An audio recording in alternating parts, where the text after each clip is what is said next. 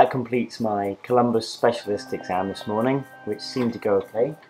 Um, and uh, it was a real mix of uh, some manual tasks, uh, sorting out the water pump assemblies, cleaning some air filters, and a few emergencies thrown in there as well.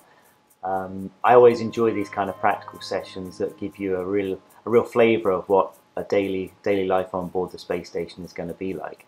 And of course, every time I do it, I get more and more comfortable and more familiar with uh, this laboratory uh, and the space station.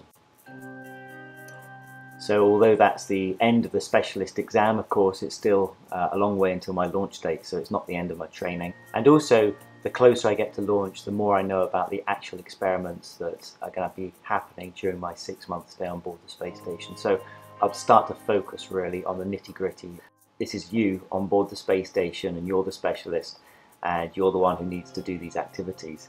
So it certainly helps to, to focus the mind on what you're going to be doing up there in space.